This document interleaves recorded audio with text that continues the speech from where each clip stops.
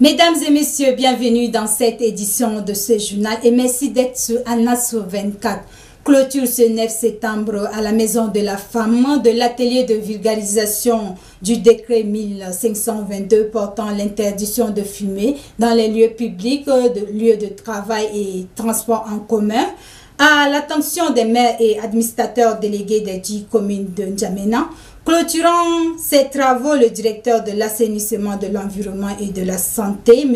Ngardengar, Roasna Rodrigue a souligné les méfaits de la cigarette sur la santé humaine. Suivez son extrait au micro de Nédumbaye Kourayo Evelyne. Deux jours durant, vous vous êtes rendu disponible, malgré vos multiples tâches, pour acquérir des connaissances supplémentaires qui vous permettront de vulgariser et de faire appliquer les tests sur la lutte anti-tabac dans vos circonscriptions respectives. À travers cette disponibilité, vous avez démontré aux yeux de la population combien leur santé vous préoccupe.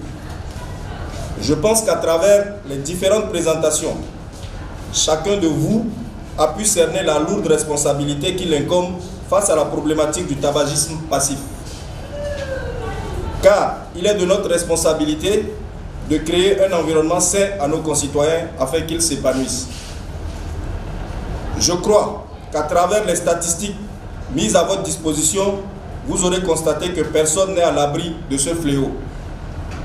Même le fœtus qui est dans le ventre de sa maman est exposé au risque du tabagisme passif. Selon l'enquête réalisée en 2008 dans le milieu scolaire, chez les jeunes de 13 à 15 ans, 55,1% de nos enfants vivent dans un environnement pollué par la fumée de tabac. Et selon le rapport du modèle d'investissement pour la lutte anti-tabac au Tchad, publié en 2019, 2500 de nos compatriotes décèdent chaque année de suite du tabagisme. Et les pertes liées à l'usage du tabac représentent à peu près 32 milliards de francs CFA, selon une étude menée en 2017. Mesdames et messieurs, chers participantes et participants, ces chiffres alarmants doivent nous interpeller tous. Tout le monde sait que la fumée de la cigarette est un danger, mais peu de gens s'engagent à lutter contre ce fléau.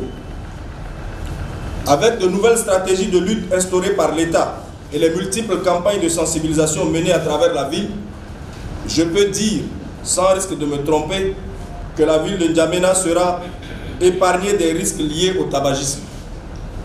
Pour finir, je tiens sincèrement à remercier une fois de plus le ministère de la Santé publique et tous nos partenaires pour leur appui multiforme qui nous ont permis de réaliser cette rencontre de concertation. Le styliste tchadien, même si Excellence Couture Mix a organisé ce 10 septembre une conférence de presse, la dite conférence a eu lieu dans un restaurant de la place. Trois points ont été abordés. Suivez ce reportage. Trois points ont été abordés lors de cette conférence de presse organisée par le styliste Memsi, lauréat du Festival international de mode Bissona Bisso, tenu à Pointe-Noire au Congo-Brazzaville du 25 au 28 août 2021. Le styliste a parlé de sa participation du festival, de la présentation de son trophée ainsi que de ses perspectives. Pour Samanda Branda, administrateur en chef du styliste, a amplement expliqué comment le projet a été possible c'est parti à partir d'une invitation. Et l'invitation est partie à partir de Moussa Aimé, qui était en contact avec euh, un ami, un Tchadien aussi, qui a été contacté par l'organisateur de cet événement. Parce qu'il voulait avoir les pays sur euh, parce que c'est un événement aussi qui réunit beaucoup de pays. Donc quand il a contacté le Tchadien, il dit, est-ce que chez vous, vous n'avez pas de stylistes qui peuvent participer à cette édition spéciale? Et comme Moussa Aimé, et comment c'est parti? Parce que Moussa Aimé, c'est Moussa, euh, même si qu'il habille. Et le gars, il a vu toujours, quand Moussa Aimé part partout, il parle toujours de son habillement, que c'est même si, donc c'est comme ça qu'il a été contacté par ce gars. Il dit, mais ton styliste là, moi j'ai été contacté par quelqu'un, un organisateur d'un événement, est-ce que euh, ton styliste là, tu peux pas, il ne peut pas représenter le Tchad c'est comme ça que Moussa Aimé a contacté, même si qui m'a contacté au plus tard et qui m'a mis en contact avec l'organisateur. Maintenant, c'était censé aller, parce qu'il y a eu deux reports. Euh, on devait, il devait aller au mois de juillet. Ça n'a pas eu euh, lieu à cause des difficultés que le monsieur sur place a rencontrées. Il a repoussé, il a dit que bon, il a, il a repoussé pour le, pour le mois d'août. Et août même, c'était parti pour le début du mois d'août. Mais après, il a eu encore des difficultés, il nous a relancé. Et pendant ce temps, quand il était question, il dit que lui, il n'a pas les moyens d'acheter le billet d'avion pour faire partir même si. Est-ce que nous, à notre niveau, on peut prendre le transport jusqu'à Pointe-Noire On a dit, il faut oser. Si c'est au nom du pays, on en sait qu'on a des gens de bonne foi, des gens qui sont là, qui aident toujours les artistes quand il est question d'une représentation à l'international. Pourquoi ne pas écrire, adresser des courriers à des mécènes, à des gens, des institutions qui peuvent peut-être nous donner juste un billet d'avion? C'est ce qui nous a obligés à écrire à beaucoup de, particuliers d'abord, à des institutions, et on ne pensait pas que c'est l'ONAMA qui allait euh, réagir parce que pour nous, l'ONAMA, c'est les journalistes. Après la présentation du dit trophée, une projection des réalisations du styliste a été faite, suivie des jeux questions-réponses qui ont été vraiment fructueuses. À la question de savoir si le styliste a des projets à venir. C'est dit justement parce qu'il y, a des événements que notre pays a eu, donc euh, nous allons prendre le temps pour mieux organiser et surtout qu'il y aura tellement des amis internationaux qui seront là. Il y a déjà Côte d'Ivoire qui m'a confirmé, il y a déjà Cameroun qui m'a confirmé, il y a déjà Congo qui m'ont déjà confirmé, il y, a, il y a aussi la France qui m'a aussi confirmé. Donc, il y aura des nations qui seront ici pour qu'on puisse ensemble faire l'ambiance autour de la mode tchadienne. Surtout, l'objectif, c'est d'amener la mode tchadienne sur le plan international. C'est d'amener nos styles, nos façons de s'habiller sur le plan international pour que les gens reconnaissent quand même que nous avons aussi des, des, euh, des skills ici au pays. Retenez que ce résultat a été rendu possible par l'entremise de l'Office national des médias audiovisuels et huit grands pays africains se sont présentés. En e-sport, le secrétaire général de la sous-session du syndicat des enseignants du Tchad de l'Institution nationale des jeunesses et du sport, Né Kouambaï, Maïdoum a tenu un point de presse ce 11 septembre 2021 au sein de l'institution dont il dirige. Point de presse relatif à quelques revendications importantes, dit-il. Suivez un extrait de son allocution au micro de Alain Ahmad Moussa Khalil. Nous voudrions par cette occasion informer l'opinion nationale et internationale que le ministère de la Jeunesse des sports et de la promotion de l'entrepreneuriat, en combine avec l'administration de l'INJS, ont pris en date du 27 août dernier un arrêté numéro 31 pour nommer trois enseignants du dit institut dans les services centraux du ministère. Ces trois camarades en question sont tous enseignants permanents et membre du bureau exécutif de la sous-section 7 de l'INGS. Il s'agit notamment des camarades Bekoutou Bienvenu, chargé des affaires sociales, Krega Mamat Karamega, chargé des revendications, Djibril Abgouja, chargé de l'information.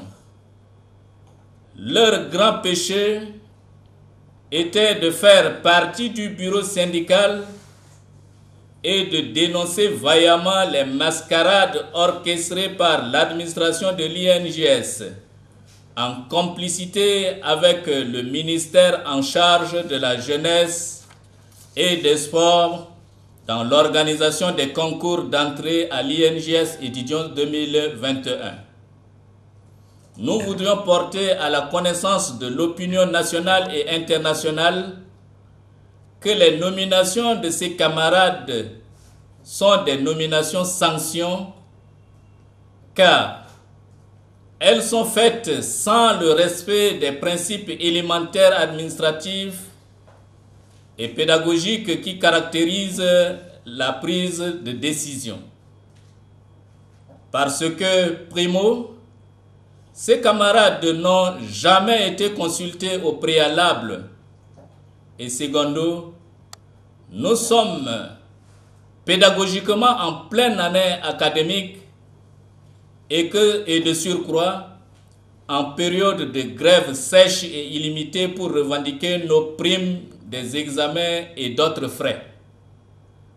Chers journalistes, il vous souviendrait qu'en date du 8 juillet 2021, nous avons organisé un point de presse dans cette même salle pour revendiquer les arriérés qui datent de 2016 et ont fait l'objet d'un accord signé le 1er septembre 2020 entre le gouvernement et la sous-section 7 de l'INJS.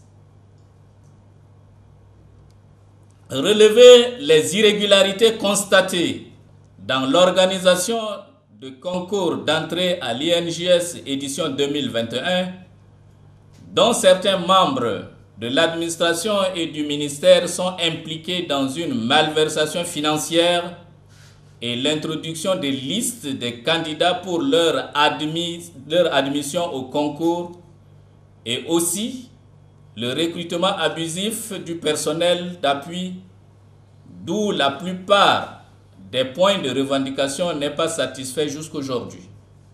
C'est sur cette page que referme cette édition. Mesdames et messieurs, prenez soin de vous et à très bientôt. Au revoir.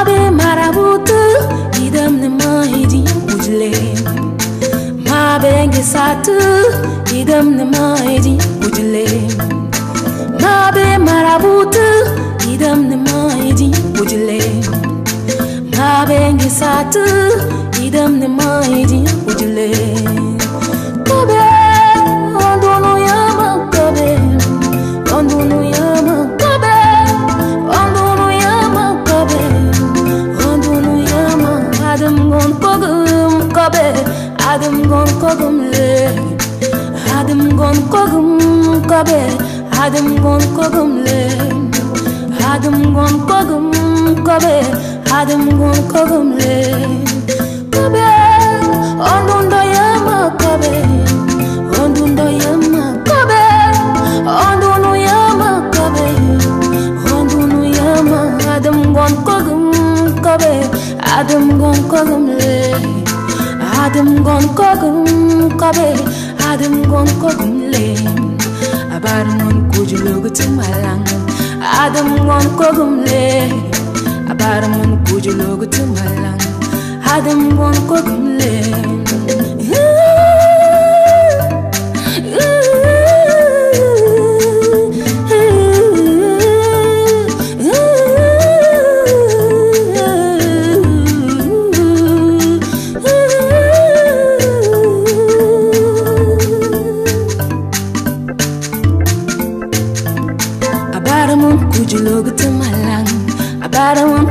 logo to my land. A bottom put your logo to my land.